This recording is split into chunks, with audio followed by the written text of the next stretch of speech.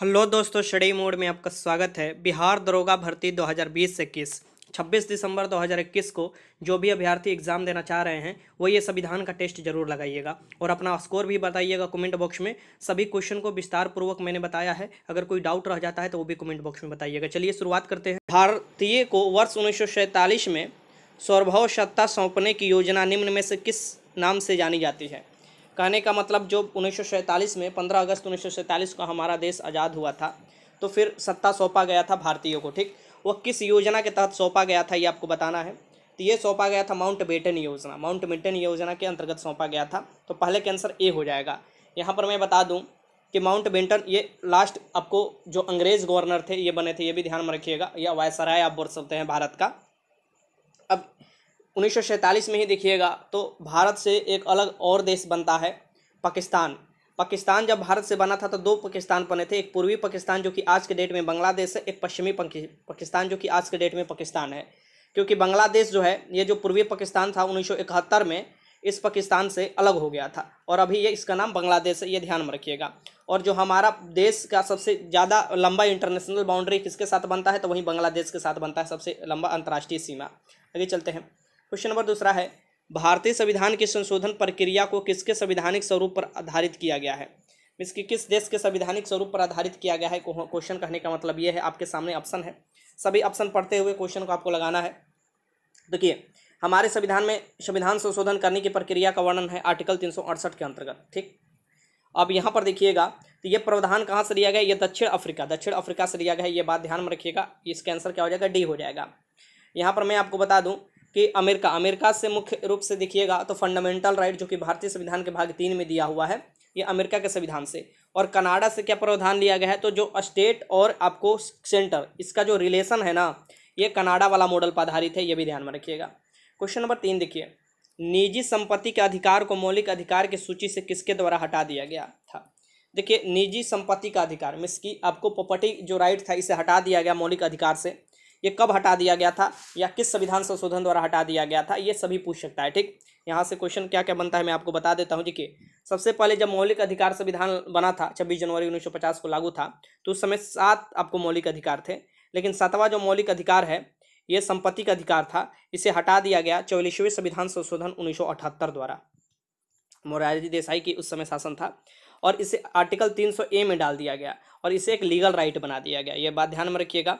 तो ये चौलीसवें संविधान संशोधन द्वारा। अब हमारे पास मिस के सभी लोगों के पास भारत के नागरिक के पास छः मौलिक अधिकार हैं, जो कि भारतीय संविधान के भाग तीन में वर्णन है, आर्टिकल बारह से लेकर पैंतीस तक, जिसे भारतीय संविधान के मैग्नेकाटा कहा जाता है।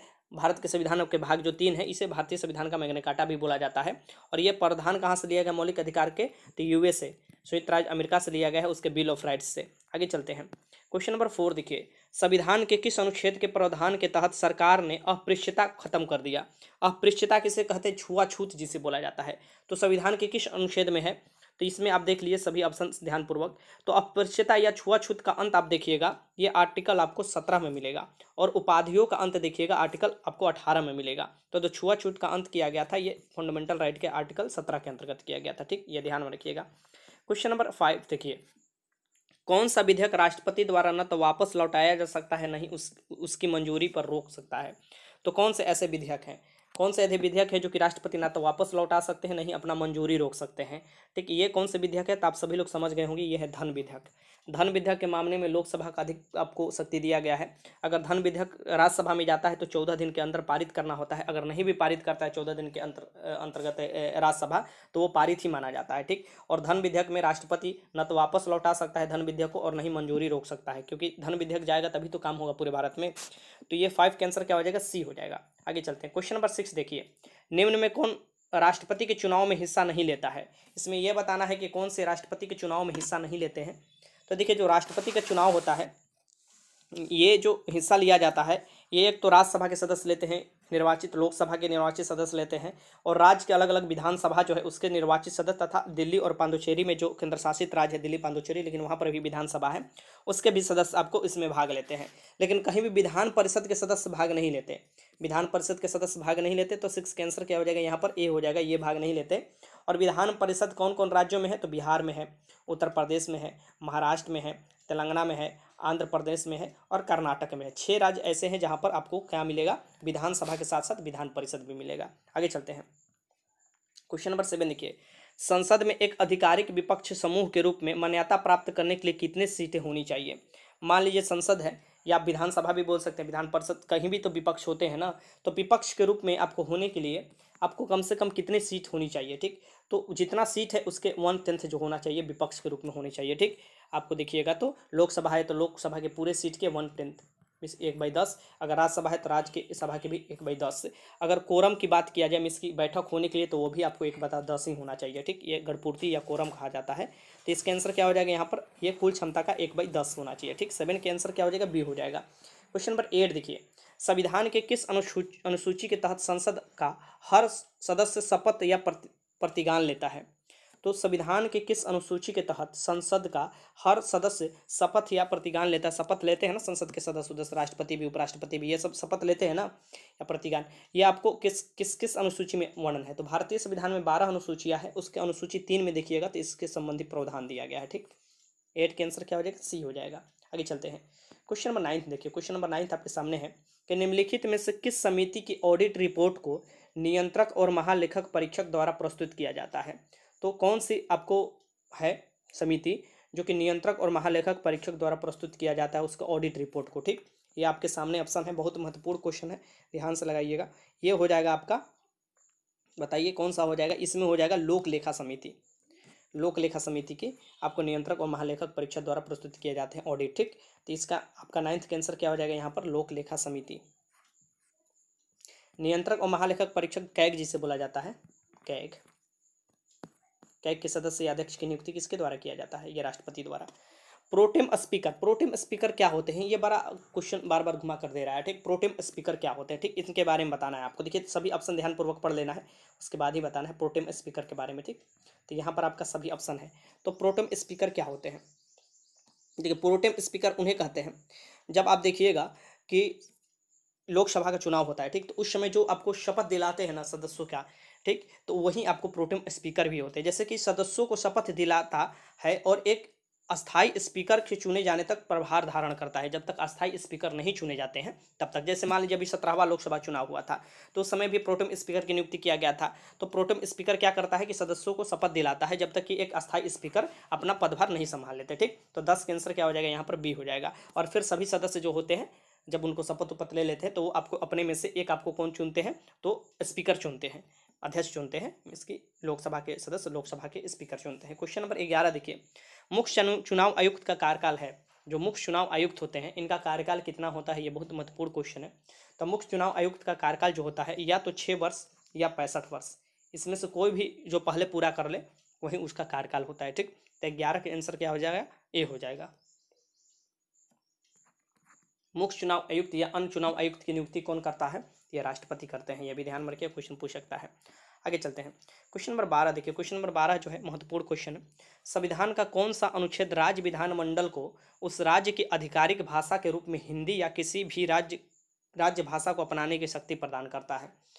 फिर से क्वेश्चन पढ़ लीजिए। संविधान का कौन सा अनुच्छेद राज्य विधानमंडल जो राज्य के अलग अलग विधानमंडल होते हैं, उस राज्य के आधिकारिक भाषा के रूप में हिंदी या मान लीजिए उस राज्य की जो आपका राज्य भाषा है, उसको अपनाने की अनुमति देता है, ठीक? ये कौन सा अनुच्छेद है, ये आपको बताना है। जैसे कि बिहार ही है। बिहार में सबसे प्रथम भाषा के रूप में आपको राज्य भाषा के रूप में हिंदी है और द्वितीय में उर्दू आता है, ठीक?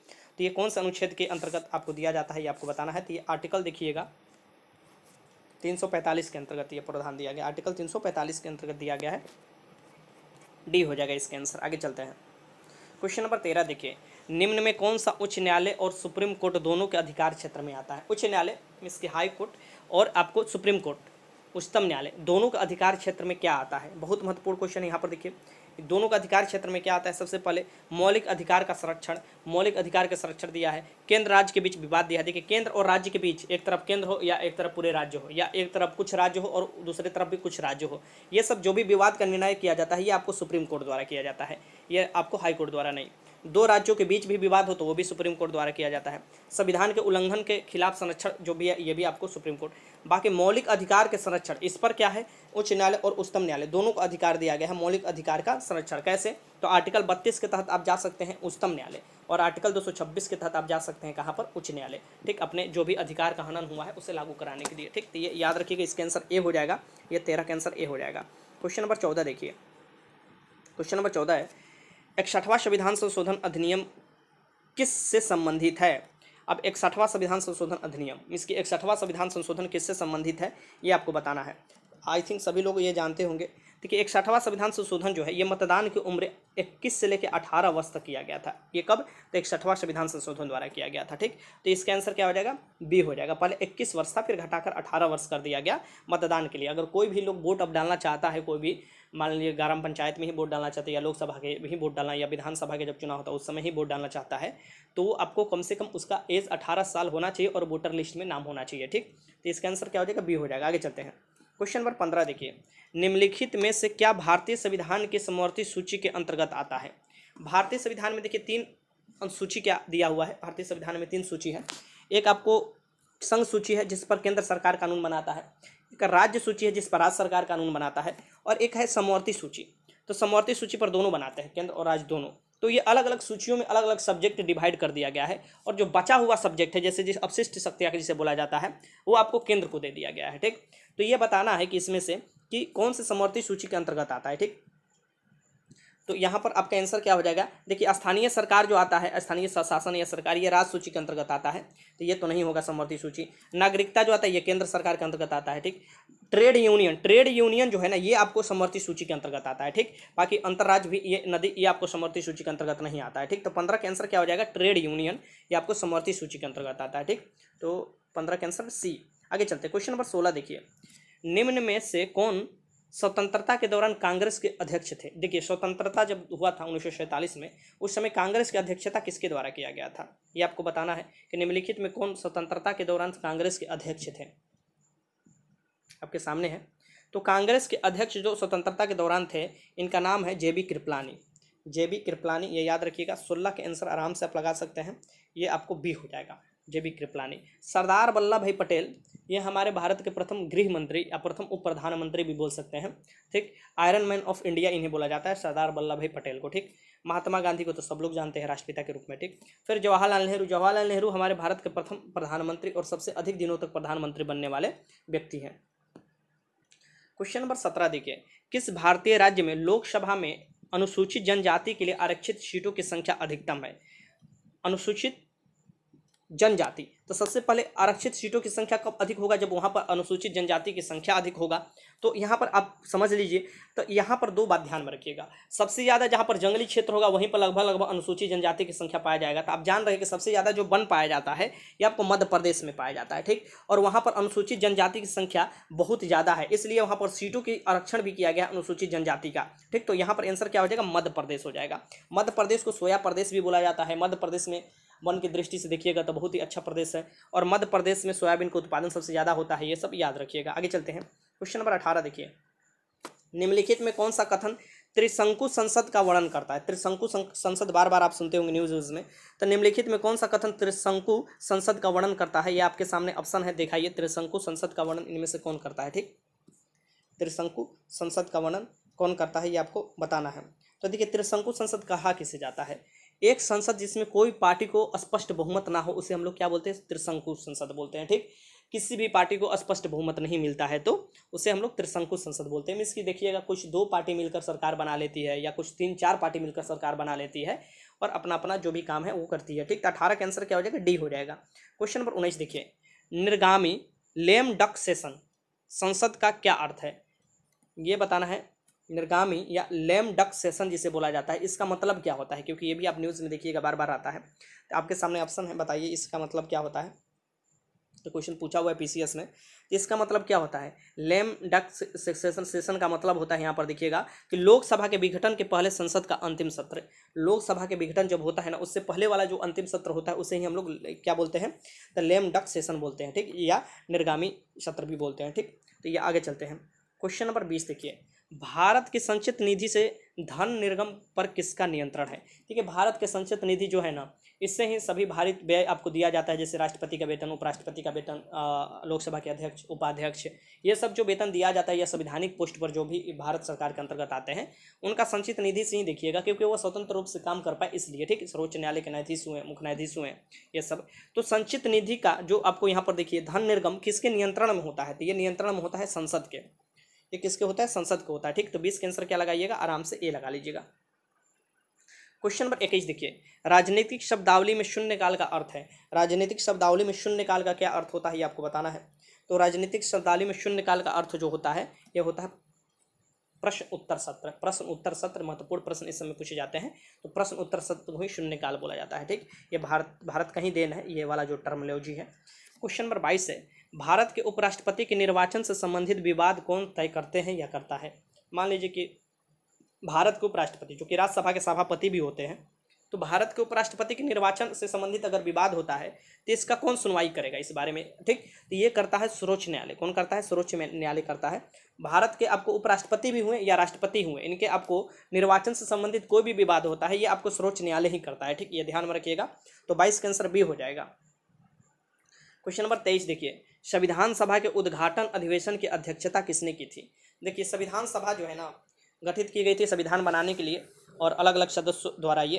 तो संविधान सभा के गठन किया गया था नौ दिसंबर उन्नीस सौ छियालीस को। और इसी समय आपको उद्घाटन की अध्यक्षता जो किया गया था, अस्थायी तौर पर डॉक्टर सच्चिदानंद सिन्हा द्वारा किया गया था। ठीक? और इसके दो दिन बाद ही ग्यारह दिसंबर उन्नीस सौ छियालीस को आप देखिएगा ये आपको डॉक्टर राजेंद्र प्रसाद को क्या बना दिया गया? अस्थायी तौर पर इनको अध्यक्षता करने के लिए दे दिया गया, जो कि हमारे भारत के प्रथम राष्ट्रपति भी बने थे। और ये आपको डॉक्टर सचिदानंद सिन्हा और डॉक्टर राजेंद्र प्रसाद, ये दोनों बिहार से ही बिलोंग करते थे, ठीक? डॉक्टर भीमराव अंबेडकर जो थे, ये आपको प्रारूप समिति के अध्यक्ष थे, ये भी ध्यान में रखिएगा, क्वेश्चन पूछ सकता है। आगे चलते हैं। और उसके बाद देखिएगा, तेरह दिसंबर भी याद रखिएगा, तेरह दिसंबर उन्नीस सौ छियालीस को जवाहरलाल नेहरू ने उद्देश्य प्रस्ताव प्रस्तुत किया था, संविधान सभा में, ये भी याद रखिएगा। क्वेश्चन नंबर चौबीस देखिए निम्नलिखित में कौन भारत के राष्ट्रपति की इच्छा तक ही पद पर बना रह सकता है? जब तक राष्ट्रपति चाहते हैं तभी तक वो अपने पद पर बना रहता है। इसकी राष्ट्रपति के प्रसाद पर्यंत अपने पद पर बना रहता है। ये आपको बताना है कि ये कौन से हैं ठीक? तो ये हो जाएँगे आपको जिसकी नियुक्ति भी करता है और राष्ट्रपति चाहे तो हटा भी सकता है जब भी, भी ये राज्यपाल हो जाएँगे ठीक? ये ध्यान में रखिएगा। देखिए राज्यपाल और यहाँ पर देखिए तीन बात मैं बता देता हूँ। राष्ट्र राज्यपाल बनने के लिए न्यूनतम आयु पैंतीस वर्ष राष्ट्रपति बनने के लिए न्यूनतम आयु पैंतीस वर्ष और उपराष्ट्रपति भी बनने के लिए न्यूनतम आयु पैंतीस वर्ष। ये तीनों बात ध्यान में रखिएगा, क्वेश्चन पूछ सकता है। आगे चलते हैं। क्वेश्चन नंबर पच्चीस देखिए।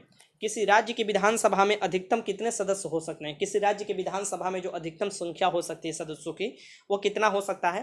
तो होता है पाँच सौ। अधिकतम पाँच सौ हो सकता है, न्यूनतम साठ हो सकता है। ये ध्यान में रखिएगा। किस राज्य की विधानसभा में अधिकतम कितना हो सकता है सदस्य? पाँच सौ हो सकते हैं और न्यूनतम कितना हो सकता है? आपको साठ हो सकता है। सबसे अधिकतम किस राज्य के है? तो यूपी के है। और बात वहाँ पर जनसंख्या ज़्यादा है। बिहार की जो विधानसभा है, ये दो सीटों की संख्या है और विधान परिषद के पचहत्तर है। लोकसभा की सीटों की संख्या बिहार में चालीस है और राज्यसभा के सोलह सीट है। अब यहाँ पर मैं आपको बता दूँ कि कुछ अपवाद में भी है। सिक्कम हुआ, कुछ अपवाद भी है जहाँ पर विधानसभा के सदस्यों की संख्या कम है। गोवा, अरुणाचल प्रदेश। टोटल पच्चीस क्वेश्चन मैंने आपको कराया। इस पच्चीस क्वेश्चन में आपने कितने क्वेश्चन सही किए, ज़रूर बताइएगा। आप सभी लोगों को पता है कि आपके एग्ज़ाम में पंद्रह से सोलह क्वेश्चन संविधान से आते हैं और पीटी के साथ साथ मेंस एग्ज़ाम में भी इतना ही क्वेश्चन लगभग आता है आपका। तो ये महत्वपूर्ण सब्जेक्ट हो जाता है तो इसको थ्रोली अच्छे से अध्ययन कीजिएगा और जो भी मैं टेस्ट बीच बीच में आपको लेते रहूँगा उससे भी ध्यान से लगाइएगा। तो अपना स्कोर ज़रूर बताइए। वीडियो देखने का आपका बहुत बहुत धन्यवाद।